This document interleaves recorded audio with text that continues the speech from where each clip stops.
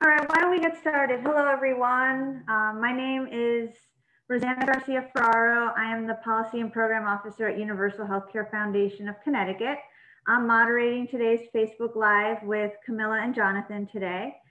Um, we're going to be talking about health equity, Husky, and our Husky for Immigrants campaign.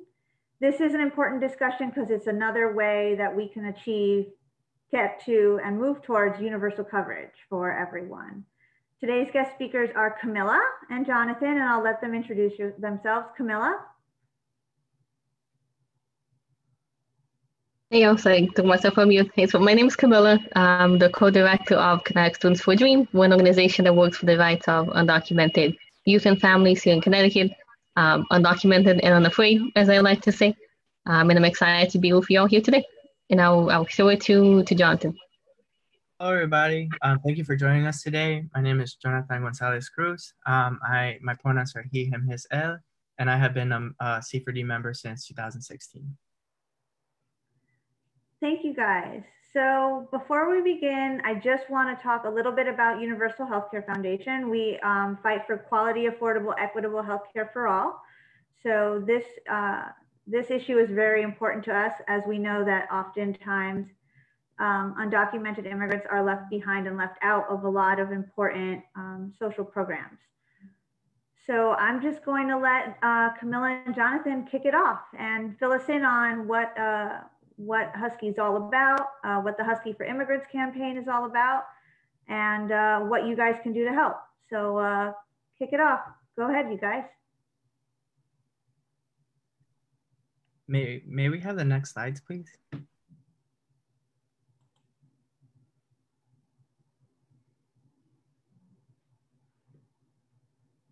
One more. And one more, please. Sorry. All right. Um, so today, since we're going to be talking about healthcare coverage, um, we wanted to provide a little bit of context first.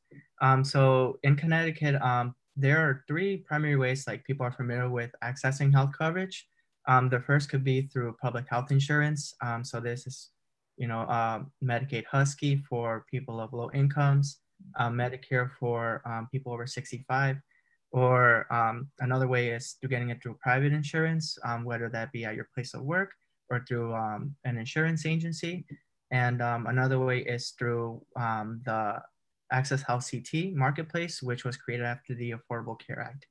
and may I have the next slide, please? And so um, say you are um, an undocumented individual in Connecticut looking for healthcare coverage for you or your family, um, your first place that you might consider looking is private insurance. Um, um however, in the private in in private insurance, um, you can be denied for not submitting a social security number in your application um, which a lot of undocumented immigrants don't have um, to put in their application. And then also because there are unaffordable high deduction plans, um, even people who have them, they find it um, very unaffordable. So if you're undocumented private insurance plans, you know, they may be inaccessible to you, whether because you lack a social security number or you can't afford them. Um, so next you might consider an Access Health CT plan, um, which are subsidized by federal money However, um, because you are undocumented immigrant, um, you are ineligible, ineligible for the qualified health plan. Um, and this is because during the negotiations um, for the ACA, um, undocumented immigrants were excluded from people who qualified for them. Um, so you being an undocumented immigrant, you have a hard time accessing private insurance plans and also can't access access health CT plans. Another option you may consider is getting um, Connecticut's Husky program. Um, however, once again, um, because of your status, um, you are not considered what they call a qualified immigrant, and in turn, you are excluded from the eligibility. Um, so, as a turn, these three common ways that people get healthcare coverage are unaccessible to undocumented immigrants, and the consequence is that in Connecticut, the undocumented population experience about a 52% uninsured rate. Um, next slide, please. Um, so a 52% uninsured rate um, versus a 5% overall uninsured rate in the state shows that within the undocumented community, um, there is an extreme lack of, of access to healthcare coverage. And in turn, about 53 to 68,000 undocumented individuals are uninsured, um, which is actually about a third of the total number of people uninsured in Connecticut at about 180,000. Um, so because the majority do not have access to healthcare coverage, a significant number of undocumented immigrants do not receive treatment or care when they are sick. Um, and in turn, this is a public health crisis, especially during a global pandemic when access to the healthcare system um, is vital to receiving the treatment and care people need if they are sick. And this is especially true for um, the undocumented essential workers who are constantly exposing themselves to COVID in their um, place of work. And in turn, they are risking not only catching the virus, but also being able to, not being able to go to a healthcare um, center and then receive the proper treatment and care that they deserve. Um, and I'm now I'm gonna pass it on to Camila to talk a little bit more about um, the Husky, uh, Husky for Immigrants. Thank you. So you can go to the next slide. Um, so we're here, you know, on behalf of the Husky for Immigrants campaign. So obviously Husky is our, is our main concern, which many of you on the call here and the Zoom might be very well familiar with. So we're not going to go over it in too much detail, but you'll see a quick overview on your screen. Um, so as Jonathan shared, Husky Health is Connecticut's Medicaid program, uh, which is the, the state-run health, health coverage program here in Connecticut. Um, as you all might be aware, Husky has four parts, um, A, B, C, and D. Um, each part you know, is for a different constituency, different age, different income level, um, so it, it's very, you know, very given the specific population.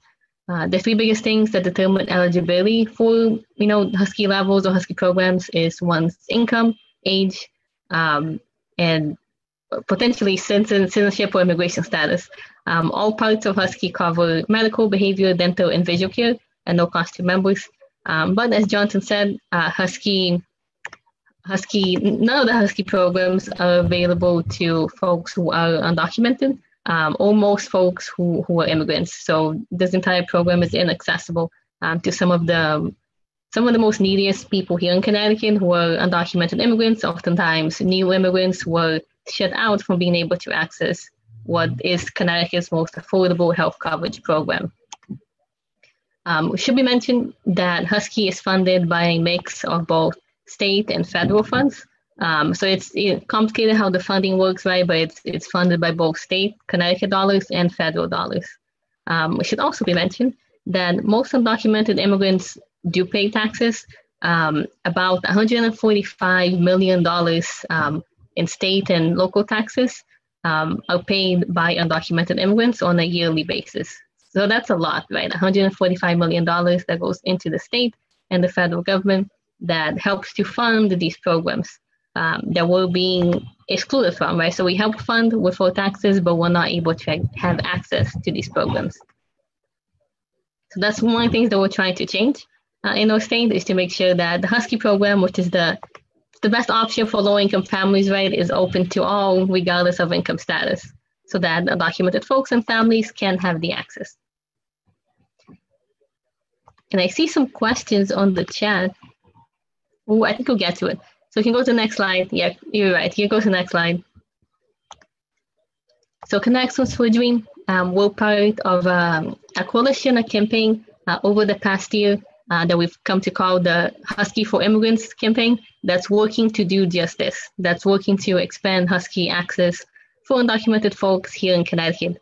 Um, you know, this comes from a belief that healthcare is a human right and your immigration status should not should not prevent you from getting the healthcare coverage or the healthcare access that you need in order to lead healthy lives. Uh, previous work that this coalition has done, which you know, you see some pictures there, um, is educating our community about the need to expand Husky healthcare. Um, we've drafted proposed legislation. Um, we've collected stories from our community and our families, and we've held press conferences to raise awareness of the issue and about the you know the thousands of lives that are being negatively impacted by lack of access to healthcare. Um, besides C4D, other organizations that are involved in this is obviously Universal Healthcare, Planned Parenthood, Make the Road, and a whole bunch of other organizations that I'm not going to mention everyone because I'm going to miss someone. um, yeah, but so we're excited to keep fighting together and keep advocating for Husky healthcare here in Connecticut. and you can go to the, the next slide. There we go. So now we're going to talk about, before we ask the questions, we'll talk about what can you all do. Um, so we know that, you know, this is a big change that we're asking for. The Husky program is a is a big program. It's a hard program to change, as many of the advocates on the call know. Um, and we know it's going to take a long time, and we know it's going to take people power to make the changes that we're demanding happen. So we welcome any any and all folks who are interested to join our campaign and to take action with us. We're not going to win this campaign unless we all come together and fight to make it happen. So we have five action items for y'all. So we're going to go through the each of the the five action items. So number one, asking y'all this week, today, if you can, to call the legislative leadership um, to take up the issue of healthcare during the upcoming special session that's likely going to happen um, sometime in, in September. Um, Right, so we're in the we're in the middle of a global pandemic. It's imperative that legislators, you know, address access to healthcare and address access to healthcare for those who who are currently excluded from the from being able to purchase or being able to have access. So here, there's some links. Please go on the link and you know join us in calling the legislative leadership to demand they they make this an issue and address it during a pandemic. And we can go to the next slide, and I'll, I'll throw it to Jonathan. And um, another way that you may be able to help is um, to tweet at your legislators if you have Twitter. Um, and to um, so we're looking for people to tweet at both the Democratic leadership and also the Insurance Committee um, to demand that the Connecticut legislator take up the issue of healthcare access for immigrant communities um, during the special session. So we really want to pressure them to um, know that there are tens of thousands of undocumented individuals who are going without health coverage during this pandemic, and they need to hear from people, um, you know, all throughout the state that this is something that needs to be passed in Connecticut. And if you go to the next slide, please, I'll throw it back to Camila. Mm-hmm. Then action number three, and you're getting this hot off the presses. Um, we are doing an action on Friday, September 25th at 6 p.m. in Hartford, um, in front of the governor's mansion, as you can see, um, to to pressure and urge uh, the governor to take action and to make sure that, or to make Husky accessible to all people, regardless of immigration status. Um, so there's no Facebook event yet, but we'll have one soon. So you know, please put it on your calendar and, and join us uh, in person if you feel safe. If you don't feel safe, you're welcome to tweet um, at the governor uh, and ask for, for this to happen because our families and our communities it. And you go for the next one, and I'll throw it back to Jonathan. And a fourth way that um, you may be able to help is to share your story with us. Um, so if you or your um, family have struggled to get health care um, or coverage because of your immigration status, um, then we would like to hear from you um, because stories um, are the way that like we help convince um, legislators and help build our base by knowing like who by by sharing people's stories like that's the most powerful way that we could get people on our side. So we are looking to collect stories to deliver to the governor on our action this month. And that that Bitly right there is a form that you could share with your friends or um, with anyone um, who you think may be able to like share their story. And I will also pass it on to Camila now. Oh, thank you. So this is the last action. See, you have no excuse not to take an action because there are so many ways that you could take action of us. Um, so the last thing that we have is the petition to the governor. So please sign uh, there's a link here. It'll also be in the in the comments and the chats everywhere. Uh, sign the petition to Governor Lamont to urge him to take action and make Husky, as we've been saying, accessible to all, regardless of immigration status. Takes 30 seconds, probably less. So that's it for the the basics and like this. What is the Husky for Immigrants campaign? What we're doing, why we're doing it. Um, I'll throw it back to Rose because I think we're taking some questions now. Yeah, we definitely are. We had a question from Angie who was wondering if 52% of undocumented immigrants are currently uninsured, how did the other 48% manage to get coverage? Good question. So I'll, take it and Jonathan, unless you, you, you want to go, Jonathan, do you want me to go? Um, you go first if you want to. Okay. Yeah, so, so that's a good question. Um, as I'm sure you all know, healthcare access is complicated. Um, well, I should mention that the report that that came from is um, it's from the MPI, the Migration Policy Institute, right? So they they use um, so I'm not a statistics person, but they use statistics, right, to extrapolate to the whole population. So it's not they didn't go around interviewing everyone in Connecticut, right? They did some math to get the to get an, an approximation, and that's what that 48% is. But how undocumented folks are able to get health insurance in Connecticut is either through an employer or in most cases to a, a family member. So we do have a lot of mixed status families here in Connecticut, right? If a if a spouse is undocumented and a spouse is a citizen or a green card holder, um, if they're married and the legal spouse gets the employer, the undocumented spouse also gets the, the health insurance. Um, and you know, adjusting your status to marriage is not it's not easy and it's not fast, right? A lot of people they can adjust their status even if they're they're married to a U.S. citizen, right? So that takes time. So there are a lot of mixed status families who are able to get health insurance from their partner. Um, the other way is to your employer. If you know a person is able to to have a work permit and be able to you know work legally, they are able to get health insurance to the employer. Obviously, they need a work permit, right?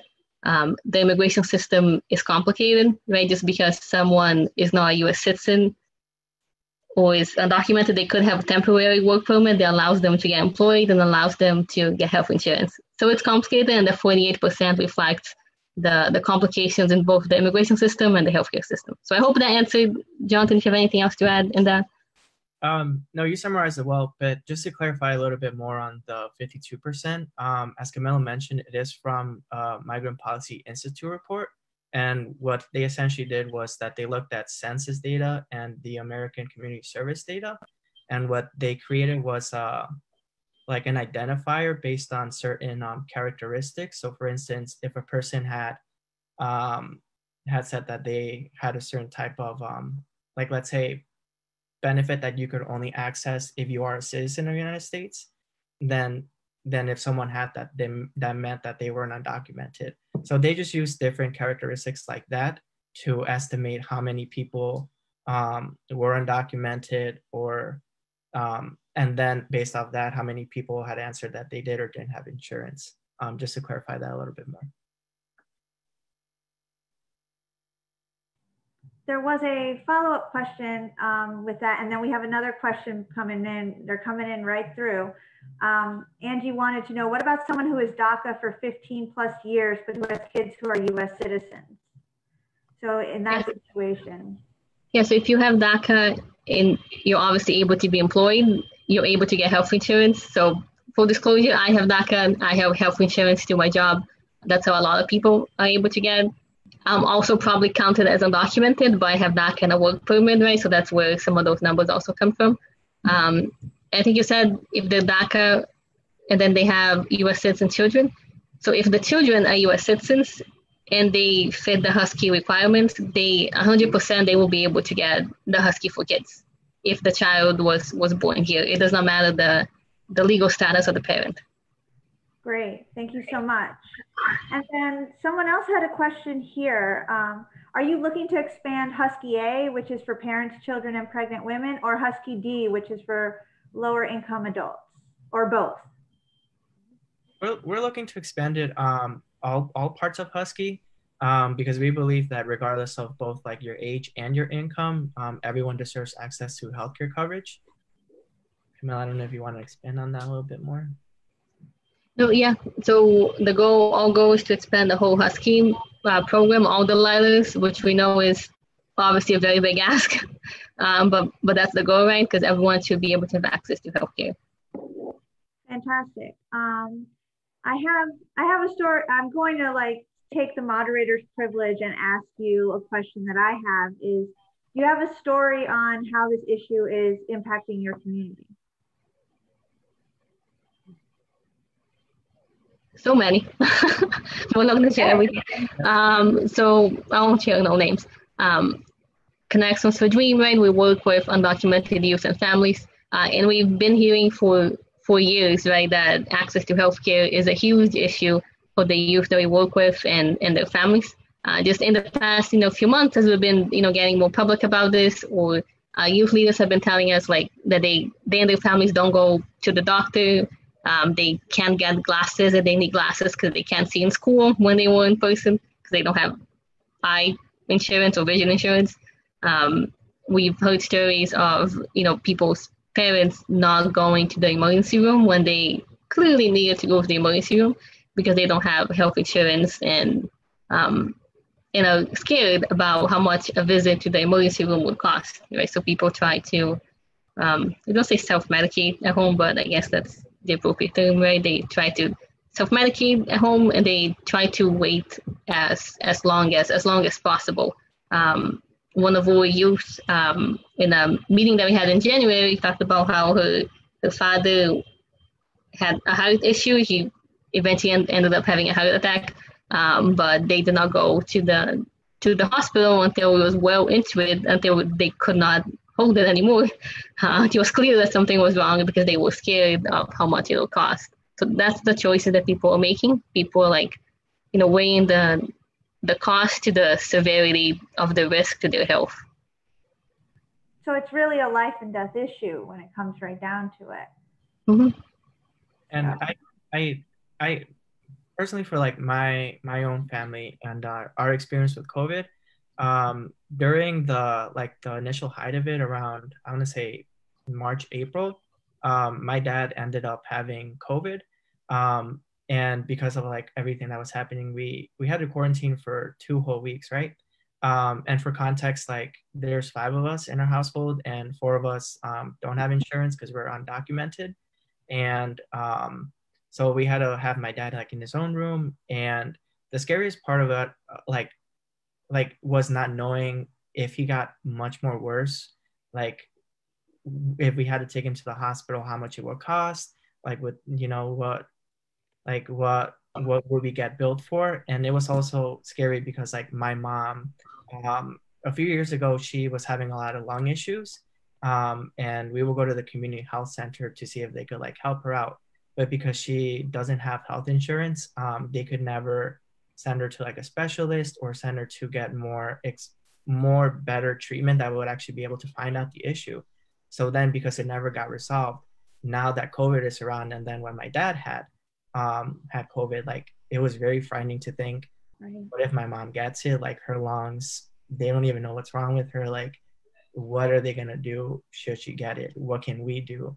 Um, so it, and I know that like my family isn't the only one. Um, as Camila said, like we hear from our members every day, like they're still going out to work and you know they they're risking it, but they have to be able to provide for their families because you know, even outside healthcare coverage and talking about health equity, um, like al- also having to work and provide food and pay your like pay your rent bills, um, like undocumented immigrants also didn't get help with the stimulus check, and so in turn, like undocumented immigrants really really need a lot of help right now, and especially with gaining access to healthcare coverage, and it is possible because um, Husky itself, I believe, about 40,000 more people enrolled into it um, because of COVID. Um, so it is possible to um, also enroll the undocumented immigrants who do deserve it and need it. I have an interesting question here um, about does the governor have, and you may not know the answer to this one, but does the governor have special emergency powers during this pandemic that he would be able to do this, to be able to open up Husky? Do you think so? Um, I'll give my take on it. Jonathan, we to give your take on it. Yes and no. Um, so the we are under, I'm not sure the proper term is, but under the emergency orders, and it was extended until February. So the governor does have emergency powers until February.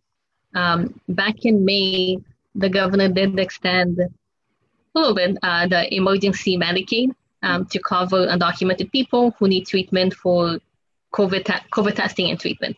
So, so that was done specifically regarding COVID and under the emergency Medicaid uh, program um, back in May. Um, the question about expanding the the Husky program administratively, like technically he would have the power, right? But the issue is the money. The issue is where the money coming from and where are they putting or taking the money from to cover the extra amount of people who would be covered and who would, you know, spend money being covered um, under the program. Um, so maybe we have a, a, lawyer on here who can give more details, right? But the, the government doesn't have the powers to like create money or like to, you know, al- allocate certain portions of the budget in new ways, but they can shift things around. So the question is, where is the money coming from?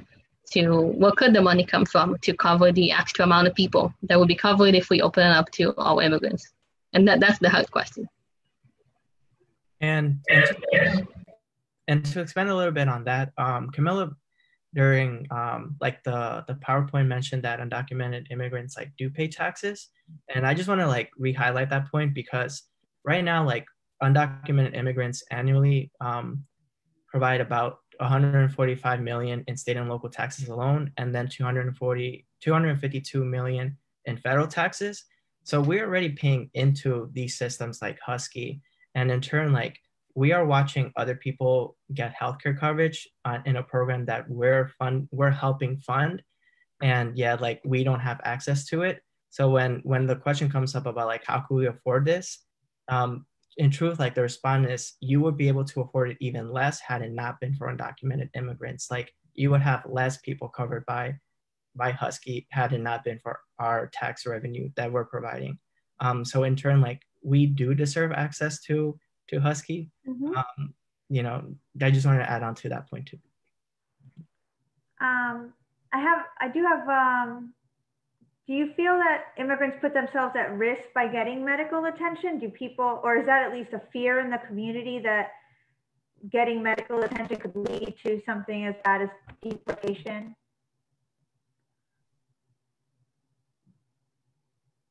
Camila, do you want to answer this one first, or? Yeah, I can, I can answer. Um, so yes, people definitely scared and concerned, and it's it, it's a very individual thing, right? It's nothing new. People have been scared to like access um, access benefits, even though healthcare shouldn't be a benefit, but people are concerned because they think they'll need to out out their status.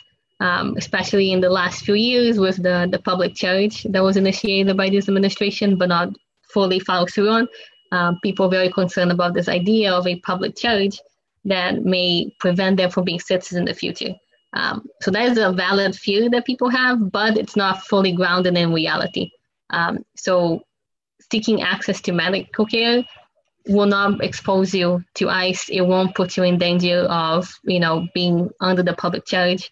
Um, although the fear is understandable, the concerns are not grounded in reality. So it is completely safe to, you know, access medical care if you need it. Um, it's safe to to seek it out. Um, hospitals fall under, I forget what the proper term is. I'm blanking. Sensitive locations. Hospitals are sensitive locations, and supposedly ICE cannot like go in there unless they have a reason. But like, you know, ICE tends to do what they want. Uh, but hospitals are a sensitive location, so it, it is safe to seek medical care. But obviously, people are still very much concerned because they hear rumors, they hear stories, and people get people get scared. So I, I have another question that just came in. Does the joint federal state funding of Husky cause any problems? Can the federal government restrict eligibility? Um, I, I take and try to answer this one. Um, if I if I'm remembering correctly, um, I think uh, what we're trying to do in in Connecticut is similar to what California did with their um, with their version of Medicaid, and um, what they did was that uh, they only use state funding to fund access to um, their their version of Medicaid for undocumented immigrants there. Um, so we want to do the same thing here, um, but for for all, um, which would mean that we wouldn't be using federal money to expand Husky for immigrants. We would solely be using um, Connecticut tax revenue money. And so that way we won't have to encounter any barriers that might come with having to reach out to the Trump administration who won't help us. Um, Camila, yeah. to add to that one? No, yeah, yeah, that's it. Yeah, under federal law, uh, like you cannot use federal funds to to give, you know, aid or under the under the Medicaid program. You can't do that. So the funds will need to come from the state of Connecticut. Um, this could be changed in a future administration, but it will definitely not be changed in this current administration. Um, so for now, it will need to be fully funded by the state of Connecticut. Thank you so much. I have, I have one last question, I think, here for, um, oh, I actually have uh, two last questions is how can you, how can we protect, protect, like say the Husky program were to be opened up, what's one, you know, what are ways that we can protect um, un undocumented people from having to out their status in some way um, and, and maybe be fearful of doing that? Do you think, of, can you think of like any ways that like we could address that? Yeah, so I think like the biggest thing is make sure that people uh, feel safe in applying for the program, right? Um, a lot of it is in the logistics of it, right? You, it'll be better if it's not like a separate program and a separate application, but then like it will apply the same way, right? And there's no way for you to out yourself as undocumented just by seeking out the the application. Um, so so that's one thing. Um, another way is make sure that you know in whatever mechanism this gets passed, that there's language in there that protects uh, protects the privacy not the word I'm looking for, but protects the information there you go of, of the people who, who did apply. Um, it's always a concern, right? The information could be shared and there's some kind of, you know, request from the federal government, but that, that's not likely. Right here in Connecticut, we have the drive only program, which gives licenses to undocumented people. When when that was first proposed, right, people were very concerned that undocumented immigrants would not would not apply for it because the license clearly identifies you as undocumented, um, and that there will be a list. But people still apply, right, because people need to drive. I think in the same way that people will still apply because people need healthcare. We just need to make sure that the state of Connecticut is providing the protections on the back end to make sure that the the information is is secure and protected. Great. Thank you so much, Camila. Thank you so much, Camila and Jonathan, for all of this information you've been giving us. And thank you so much for coming on and explaining this to our audience. I do have um, the last question, I think, um, is a great way for you to reiterate all of the great actions that people can take is what can folks do right now to get legislators to make this issue a priority in special session?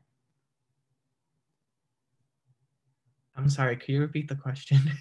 Sure, absolutely. What can folks do right now to get legislators to make this issue a priority in the upcoming special session that is supposed to be happening in September, where the legislature is supposed to reconvene?